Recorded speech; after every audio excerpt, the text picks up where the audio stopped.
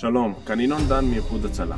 אנחנו נמצאים כרגע במצב חירום, אשר מתרחשים בו אירועים של אזעקות ונפילות של רקטות בכל רחבי הארץ. מצב מתוח מאוד ולא נעים. אנחנו כאן איתכם ולמענכם. הנה כמה כללים שיעזרו לכם להישאר בטוחים ובריאים. בעת הישמע אזעקת צבע אדום, יש להיכנס מיידית למרחב המוגן הקרוב ביותר.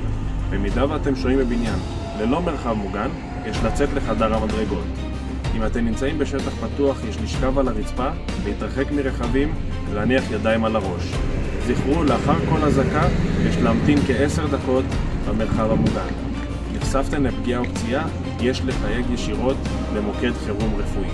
במידה ויש דימום מהפצע, יש להניח תחבושת או בד בלחץ ישיר עד לעצירת הדימום. בפצוע עם חבלות כגון שברים, יש לקבע אותם במינימום תזוזה עד להגעת כוחות רפואיים. זכרו, שומרים על הכללים, מצילים חיים. יחד נגיע לימים טובים.